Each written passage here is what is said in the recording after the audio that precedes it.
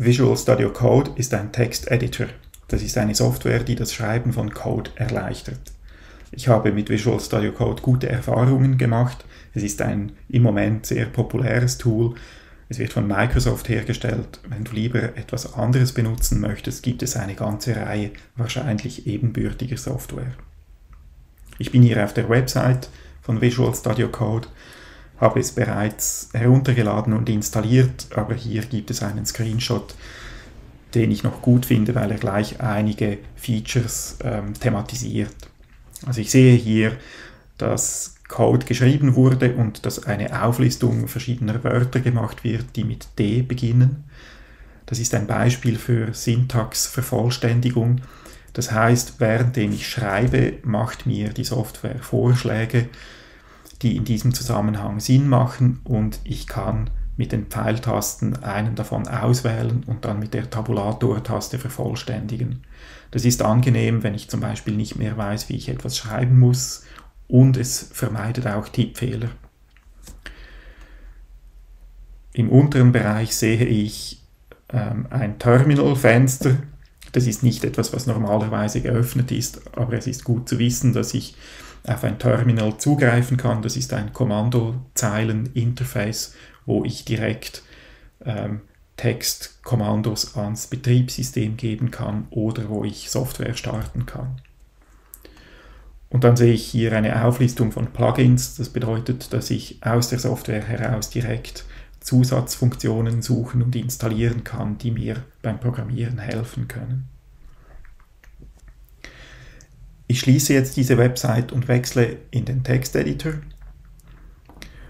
Und hier werde ich Plugins zeigen, die du installieren kannst und einige Voreinstellungen machen. Ein eigentliches Code-Projekt setze ich dann in einem zusätzlichen Video auf. Das ist die Willkommensseite, die wird angezeigt immer, wenn du ein neues Fenster aufmachst. Du kannst mehrere Fenster gleichzeitig offen haben, mehrere Code-Projekte gleichzeitig bearbeiten in separaten Fenstern. Äh, wenn du hier diesen Haken wegnimmst, dann kommt das nicht mehr.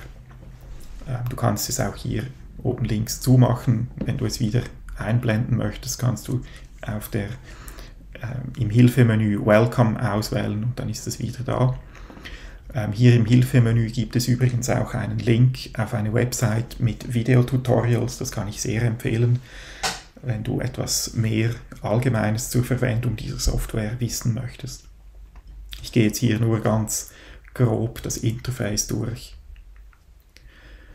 Auf der linken Seite hier gibt es ein paar Knöpfe. Den untersten siehst du wahrscheinlich nicht, weil der gehört zu einem Plugin, das ich gleich zeigen werde. Den zweituntersten benötigst du wahrscheinlich ebenfalls noch nicht. Das ist das Interface zur Software Git und zur Plattform GitHub, das wir zu einem späteren Zeitpunkt anschauen werden. Dann gibt es Extensions, das sind die Plugins, eine Suche, und ähm, den Explorer, der die geöffneten Dateien zeigt. Immer wenn ich auf so einen Knopf drücke, geht eine Seitenleiste auf.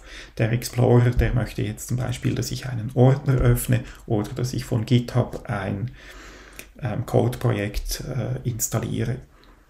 Das mache ich beides nicht ähm, und ich suche auch nichts, aber die Suche, die erlaubt mir, in einem Code-Projekt mehrere Dateien gleichzeitig zu durchsuchen oder auch Begriffe auszutauschen.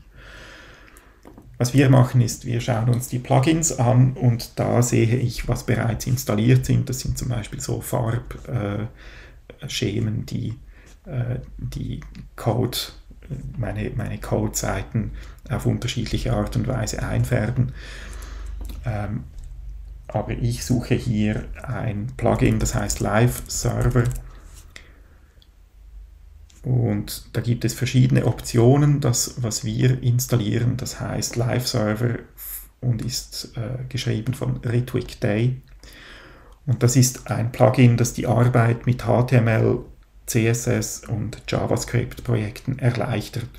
Es öffnet einen Ordner mit HTML-Dateien direkt im Browser und jedes Mal, wenn ich speichere, sendet es ein Signal an den Browser, der die Seite ähm, aktualisiert. Das ist eine große Erleichterung, dann muss ich das nicht immer von Hand machen. Also das würde ich mal installieren. Es wird hier bei dir einen blauen Knopf geben, der Install heißt und das, da kannst du draufdrücken. Vielleicht wird auch vorgeschlagen, dass du den, ähm, die Software neu startest, um das Plugin zu aktivieren. Damit kannst du aber warten, bis du alles fertig installiert hast. Was wir auch benötigen, ist ein Plugin namens Live Share. Das kommt direkt von Microsoft. Auch hier solltest du einen blauen Knopf zum Installieren sehen dieses Plugin erlaubt es, dass du mit anderen Leuten ähm, dich übers Web verbindest und ähm, dann kannst du mit anderen Leuten gleichzeitig an den gleichen Dateien arbeiten. Das ist für uns nützlich, weil wenn du Support brauchst, dann können wir uns verbinden und ich sehe sofort, was du bei dir geöffnet hast und was du geschrieben hast und kann auch gleich selber hineinschreiben. Das ist Live Share. Und dann gibt es ein Plugin namens Prettier, das ist optional. Das ist ein Formatierer, das sorgt dafür, ähm, dass auf Knopfdruck ähm, alle Einrückungen korrigiert werden oder dass äh, uneinheitliche Schreibweisen angeglichen werden und so weiter. Das räumt einfach deinen Code auf Knopfdruck auf, das kann ich empfehlen, ist aber nicht unbedingt notwendig. Und dann gibt es ein P5 äh. Da gibt es ganz viele. Wenn du nur P5 suchst, das, was ich suche, heißt p5.vs Code, abgekürzt Visual Studio Code. Und das ist von Sam Lavigne. Ähm, das hat äh, eine Option, die auf Knopfdruck ein neues P5-Projekt öffnet, ohne dass du ähm, die P5-Dateien herunterladen und installieren musst und so weiter. Das ist einfach eine Erleichterung, aber es ist nicht unbedingt etwas, was du brauchst. Kann ich aber empfehlen. So viel zu den Plugins. Wenn du die alle installiert hast, musst du wahrscheinlich Visual Studio Code schließen und neu öffnen, dass die aktiv werden.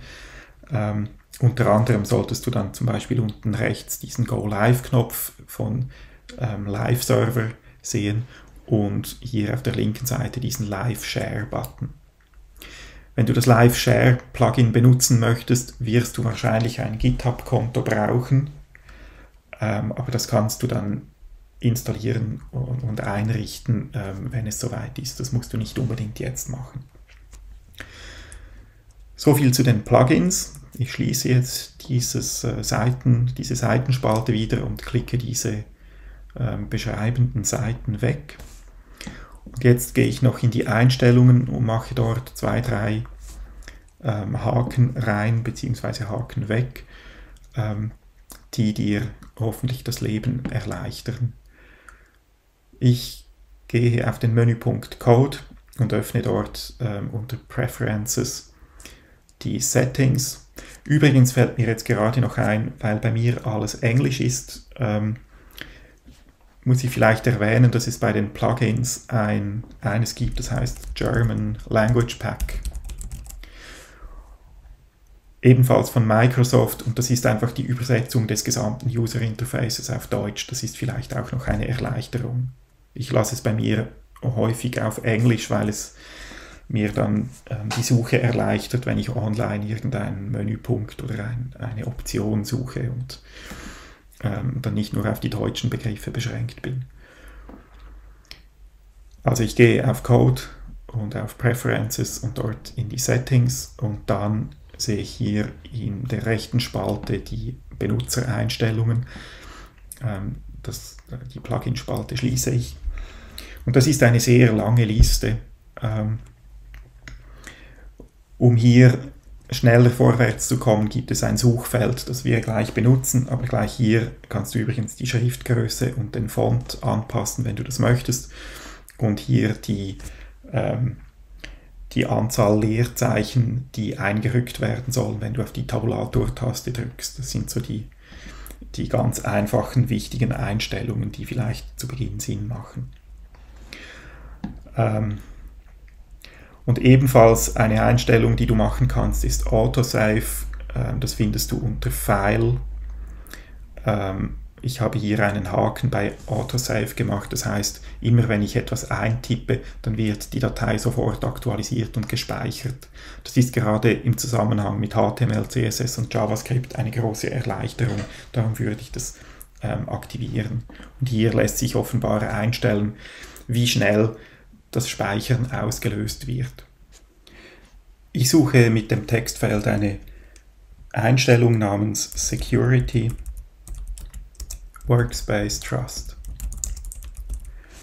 Dabei geht es darum, dass als Grundeinstellung eingerichtet ist, dass Visual Studio Code immer eine Sicherheitsfrage stellt, wenn ich einen Ordner öffne.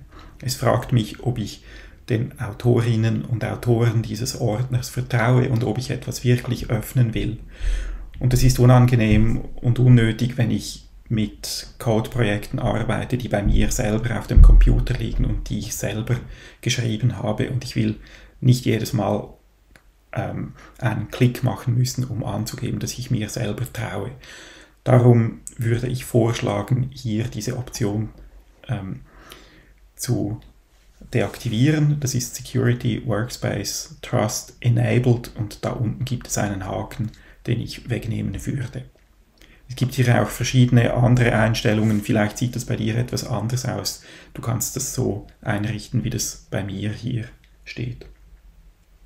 Dann gibt es eine weitere Einstellung, wo es um die Syntaxvervollständigung geht. Und zwar heißt das Accept Suggestions Und da gibt es Commit Character und Enter und ich würde beides ähm, deaktivieren ich habe die Erfahrung gemacht, dass das eher störend ist und dass es die Texteingabe stören kann, wenn das angeschaltet ist. Das ist alles zu den Grundeinstellungen. Alles andere zeige ich in einem nächsten Video.